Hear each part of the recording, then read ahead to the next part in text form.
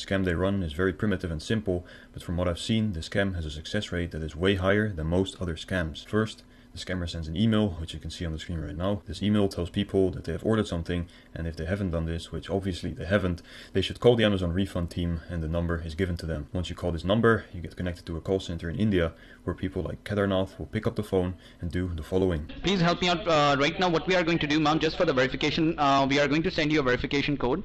Please help me out with the verification code that you are going to receive on your number, okay? All right. Just give me a second. Let me send it. It will just gonna verify you, as well. It will gonna help us out to verify that yes, you are the right lady who received this, okay? What the scammer is doing here is that he is pretending to send the victim a verification message from Amazon. Well, the message is an actual message from Amazon, but it's to reset the password. There's some personal information on him. Uh, he opened his Facebook so I could see some of his personal information. So I'm gonna scare him with this face and then with some of his personal info. DFO09D. DFO09D. Okay, sure, I got that. And can you tell me your good name? What is your full name? It's uh, James Boiler. B O I L E R.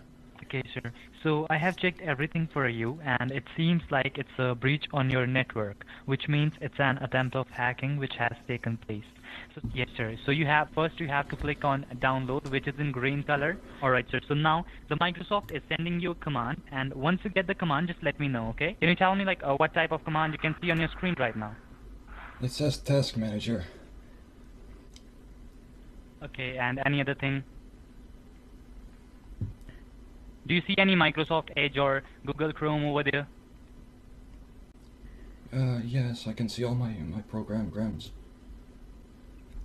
Hey AJ, what's up, man? Hey, listen, are you gonna answer some questions for me, bro? Come on. As you can see, I know who you are, man. I know everything about you. Are you gonna answer some questions for me or not, bro? Come on, be honest with me, man. I know everything about you. I know what you do. I know everything about your company. The guy that's sitting next to you, man. Just answer some questions for me, bro. I can see you right now. Answer some questions, okay? I know you can hear me. Bro, answer some questions for me, okay? AJ, come on.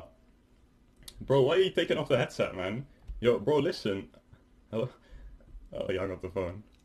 Look at this ugly guy, man. Oh.